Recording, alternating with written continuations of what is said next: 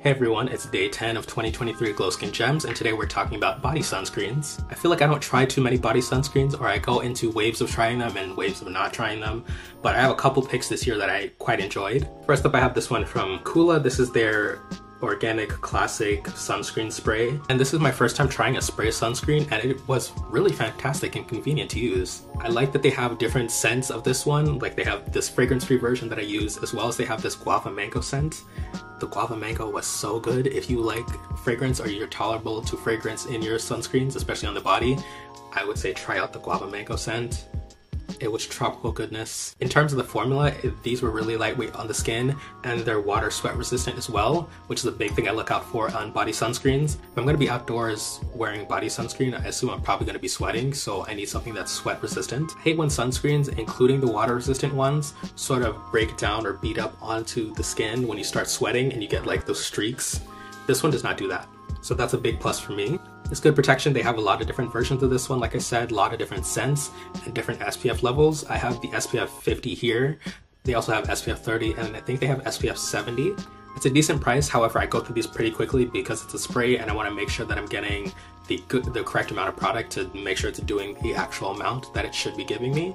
So I, I layer this thing on the spray is super convenient for me and does a good job, but I assume if you want to be super diligent on making sure you're getting the correct amount, you probably want to go with their lotion, and I know they have a version of that, the classic organic lotion. I haven't tried that one, but I assume it's great because I've tried the spray and I also have tried their classic face sunscreen that I assume is a similar formula because it's the same name, and that one's also great. So I want to try out the lotion version for the body as well.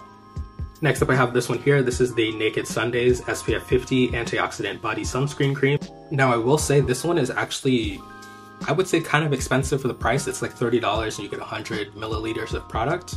But this one is so lightweight on the skin and so easy to apply. And if you're gonna be applying sunscreen to your whole body, that takes a lot of time. So I definitely want one that's easy to apply and quick to apply.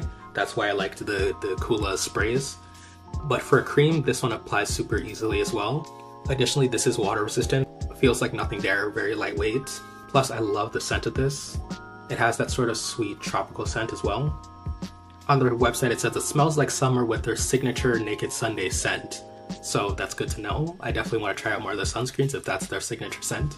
So like I said, this one I think is a little bit pricier than I would like, but if you have the extra bandwidth to spend on it, I think this is a great sunscreen. Last up, I want to give some honorable mentions because um, Japanese sunscreens a lot of times come in these big bottles of like 200 milliliters. Uh, let me see if there's an amount on here.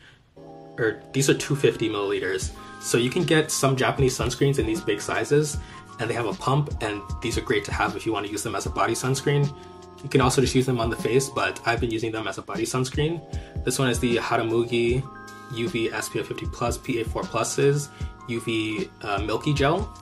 And this one I have here is the Verdio UV Moisture Gel SPF 50 Plus PA4 Pluses. I believe these both come in 80 milliliter tubes, but again, I have the 250 milliliter bottles here. These both apply really quickly. They're almost like a milky fluid gel type of texture. And you can get them for a great price because most Asian sunscreens are quite affordable. So I would say these are a great affordable option when the previous two are a bit more pricey. They both have a similar radiant finish, but again, that's not as noticeable on the body. I applied them both on my arms, and I guess you can see they just look normal.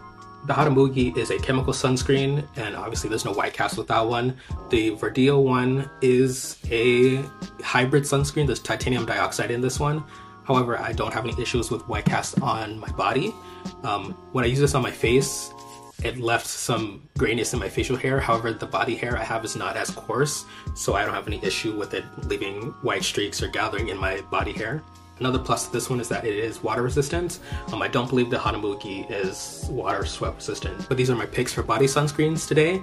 Um, if you've tried any of these, let me know what you think. Or if you have any favorites of your own that are not here, let me know in a comment down below. And I'll see you guys tomorrow for some body care favorites.